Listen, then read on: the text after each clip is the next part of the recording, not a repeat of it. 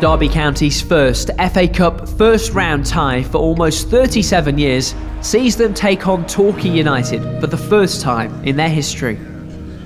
A former Ram helped Torquay make it to this stage. Dean Moxey was on target in the fourth qualifying round replay win at Hampton and Richmond Borough last month. The visitors battled back from a goal down to reach the first round proper. It's been nine years since Torquay were guaranteed a place in the first round of the FA Cup. They were relegated from League Two in 2014 and actually spent a season down in the National League South, but bounced straight back up as champions in 2019.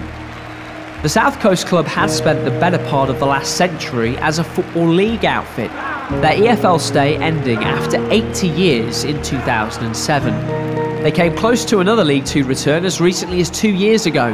They finished second in the National League, but lost on penalties to Hartlepool in the playoff final. Torquay first reached the Football League in 1927. The club had been founded in 1899, with a new Torquay United emerging in 1921, following the merging of a trio of local clubs.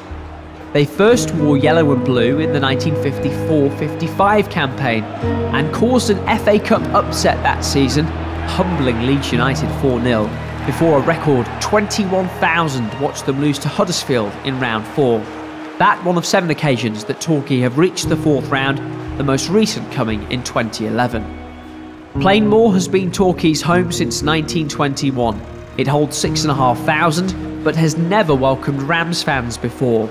Leave plenty of time for the 660 mile round trip to Devon and back. There aren't many links between the two clubs, but a pair of title winning Rams have both managed the Gulls Bruce Rioch and Roy McFarland.